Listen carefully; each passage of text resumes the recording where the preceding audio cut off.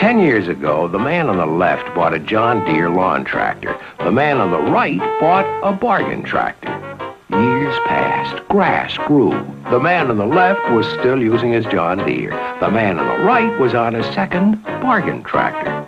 So this year, the man on the right bought a new 1979 John Deere lawn tractor built as tight and solid as ever.